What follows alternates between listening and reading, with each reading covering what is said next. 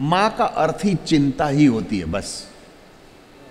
दे, देख लेना बच्चा ना खावे तो भी चिंता करती हैं और ज़्यादा खावे तो भी चिंता करती हैं।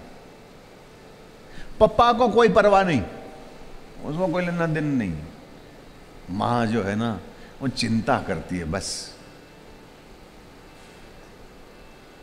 माताएँ यहाँ विराजमान हैं आप सब लोगों को ये तो अनुभूत होगा। मैंने तो देखा है मेरी अनुभूत नहीं है मैंने तो देखा है, है?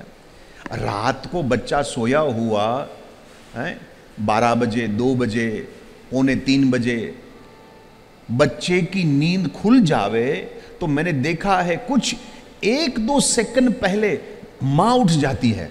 उसको पता चल जाता है कि क्या बच्चा उठने वाला है। उसकी नींद खुल जाती। और तुरंत बच्चा आवाज़ करेगा, हिलेगा, कुछ ना कुछ होता है। पता नहीं ये क्या, ये बच्चा और माँ का कनेक्शन क्या है, वो तो प्रभु जाने भाई। वो उसकी क्या लीला है, वो तो वही जाने भाई।